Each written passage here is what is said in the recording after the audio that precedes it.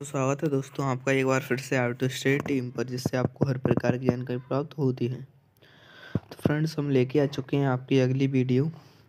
जो MP board द्वारा model paper जारी किए गए हैं ना क्लास टेंथ साइंस का फुल सॉल्यूशन है मॉडल पेपर का, ठीक है? तो ये पहले ये आपकी ओटी करवा दी है पूरी सॉल्यूशन फुल सॉल्यूशन करवा दिया है। और पूरी ओटी हो चुकी हैं, आपको वस्तुनिष्ठ प्रश्न हो चुके हैं, एक से लेकर चार तक, ठीक है? तो हम पाँच से लेके बाईस तक करेंगे पूरा, ठीक है? तो यदि आपने वीडियो यहाँ देखी हो वस्तुनिष्ठ प्रश्न की तो आप चैनल पे जाके या चैनल पे जाके देख सकते हैं, ठीक है? चलिए बढ़ते हैं आगे।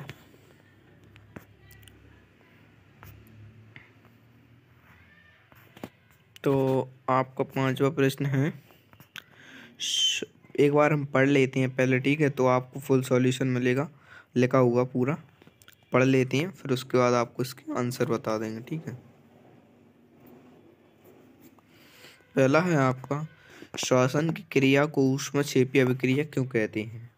ठीक है तो इसका आंसर आपको मिल जाएगा आगे।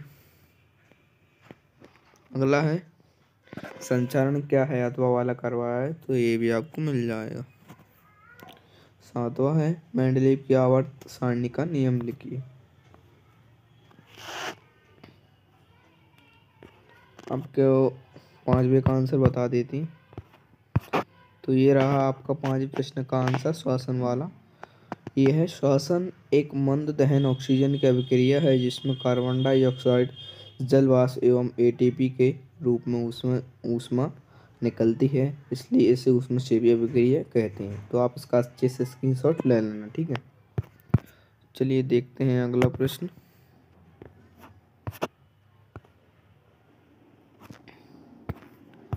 छठवा है आपका संचारण क्या है? अथवा वाला करवाया, ठीक है?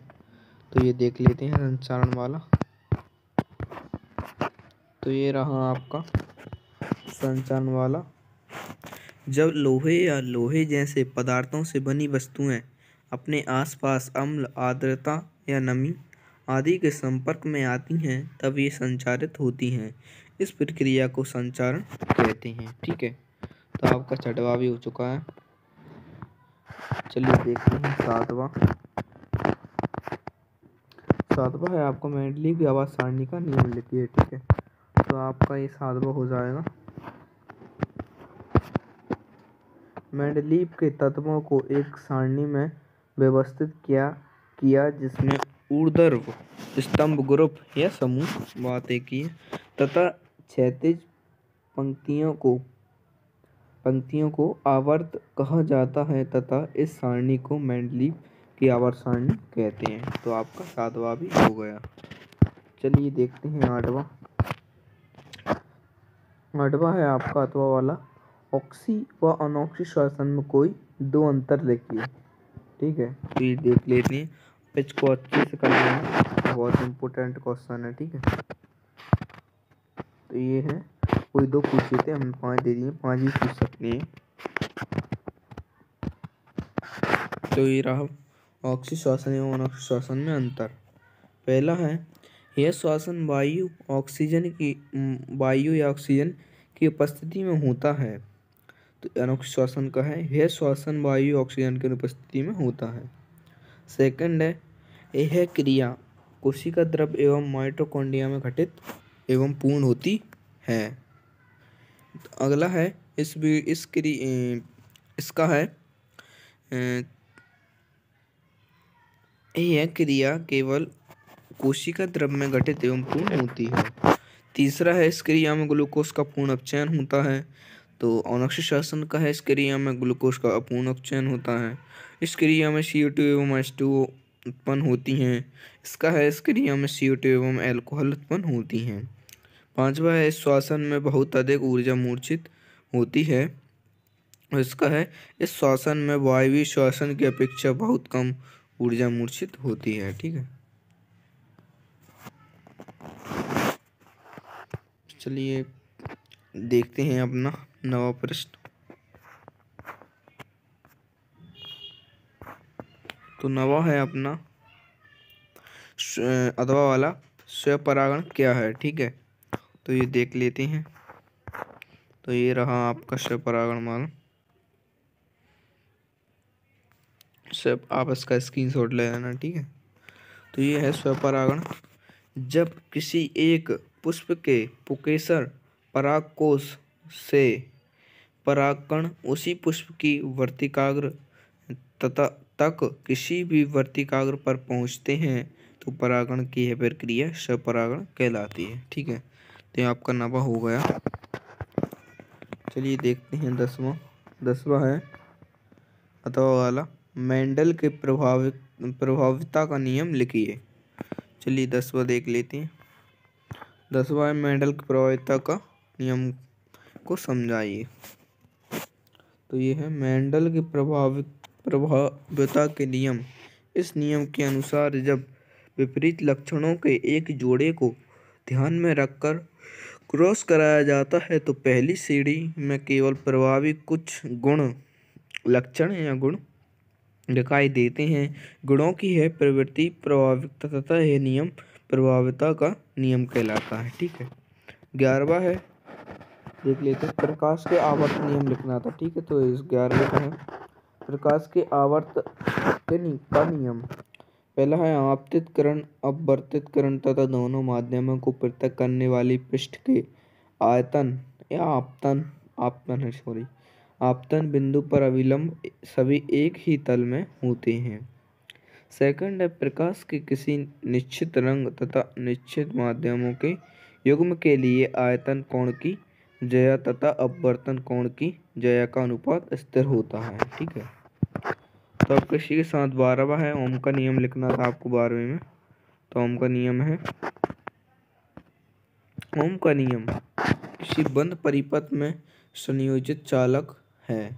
में जिसकी भौतिक परिस्थिति अविवर्तित रहती हो, विद्युत धारा प्रवाहित हो जाए तो उसके सिरों के मध्य विभवांतर और विभवांतर और उसमें प्रवाहित विद्युत धारा की तीव्रता में एक निश्चित अनुपात होता है, जिसे विद्युत प्रतिरोध कहते हैं। ठीक है? तो ये रहा आपका इसमें विभवांतर बटे विद्युत धारा विभवांतर बटे विद्युत धारा बराबर स्थिरांक, विद्युत प्रतिरोधक। तो ये आपको बारहवें का भी आंसर हो गया। चलिए देखते हैं तेरहवा। ये है आपका विद्युत विभव किसे कहते हैं, इसका मात्रक लिखिए, ठीक है? तो ये हो जाएगा आपका विद्युत विभव एकांक। धनावेश को अनंत से विद्युत क्षेत्र के किसी बिंदु पर लाने में किए गए कार्य को इस बिंदु का विद्युत विभव कहते हैं इसका मतलब वोल्ट होता है, ठीक है? तो ये आपका तेरहवा हो जाएगा। अगला है आपका चौदहवा ओजोन परत के क्षय होने के कारण लिखिए। पहला है, परावैंगनी किरणों से त्वचा का कैंसर होने की संभावना रहती है। यह मनुष्य और पशुओं की डीएनए डीएनए डीएनए टेस्ट होता है ना, वो है, डीएनए संचरना संरचना सॉरी संरचना में बदलाव लाती है। सेकंड है, इनके कारण आँखों में मोतियाबिंद की बीमारी होती है। और यदि समय से उपचार न किया जाए तो मनुष्य अंधा भी हो सकता है। थर्ड है पराबैंगनी किरणें।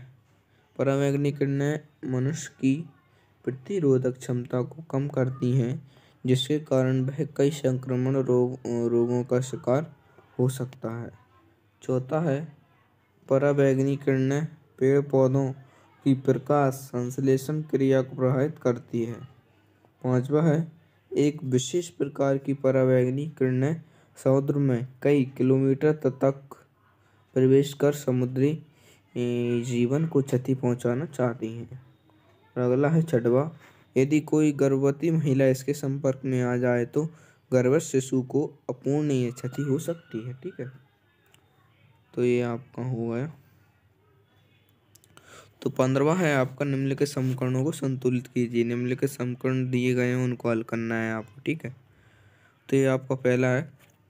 ये हो जाएगा, ठीक है? आपका छठ तो प्रकाश का प्रकीर्णन होता है तथा प्रकाश का मार्ग दिखाई देने लगता है। प्रकाश की इस घटना को ही टिंडल प्रभाव टिंडल प्रभाव कहा जाता है। टिंडल प्रभाव वाला ठीक है? तो ये रहा टिंडल प्रभाव का उदाहरण। जब किसी घने जंगल के जंगल के ही क्या है? विटान है क्या? है विटान से सूर्य का प्रकाश गुजरता है तो भी टिंडल प्रभाव को देखा जा सकता है। आपने देखा होगा कि अंधेरे कमरे में जब प्रकाश की किरणें आती हैं तो धूल के कण आपको चमकते हुए दिखाई देते हैं। सिनेमा घर में प्रोजेक्टर से प्रकाश पर्दे की ओर जाते हुए दिखाई देने, देना टिंडल प्रभाव कहलाता है। चुंबकीय बल रेखाओं के गुण निम्नलिखित हैं। ये आपका है सत्रहवा चुंबकीय बल रेखाओं वाला। चुंबकीय बल रेखाओं के गुण लिखिए तो ये आपका हो जाएगा। चुंबकीय बल रेखाओं के गुण निम्नलिखित हैं। पहला है आपका चुंबकीय क्षेत्र। चुंबकीय क्षेत्र में क्षेत्र रेखाएँ चिकने बंद वक्र होती हैं जो परस्पर कभी प्रतिच्छेद नहीं करते। सेकंड है ये रेखाएँ चुंबक के बाहर उत्तरी ध्रुव से दक्षिणी ध्रुव की ओर तथा चुंबक के अंदर दक्षिणी ध्रुव से उत्तरी ध्रुव की ओर होती हैं। थर्ड है अधिक प्रबलता वाले चुंबकीय क्षेत्र में ये क्षेत्र रेखाएँ पास आस पास या पा, पास पास तथा कम प्रबलता वाले क्षेत्रों में दूर दूर होती है। टारवा है आपका। एक उत्तम एक उत्तम स्रोत लिखिए। तो ये हो जाएगा आपका एक उत्तम स्रोत। वह कहलाता है जो सतत, अनवरत रूप से प्रचुर, प्रचुरता में आसानी से उपलब्ध हो। सेकंड है नवीनी नवी, नवीकरणीय हो। और थर्ड है पर्यावरण के लिए हानिकारक रहित हो। और चौथा है मृत्युवयी हो, ठीक है? फ्रेंड्स हमने आपकी करा दी अठारह क्वेश्चन बीस हैं तो दो मुझे मिले नहीं तो आप कर लेना. फ्रेंड्स यदि आपको वीडियो पसंद आई हो तो हमारे YouTube channel R two state team को सब्सक्राइब करें लाइक करें शेयर करें और और कमेंट भी करें, ठीक है? मिलती हैं अगली वीडियो में वीडियो को अंत तक देखने के लिए धन्यवाद।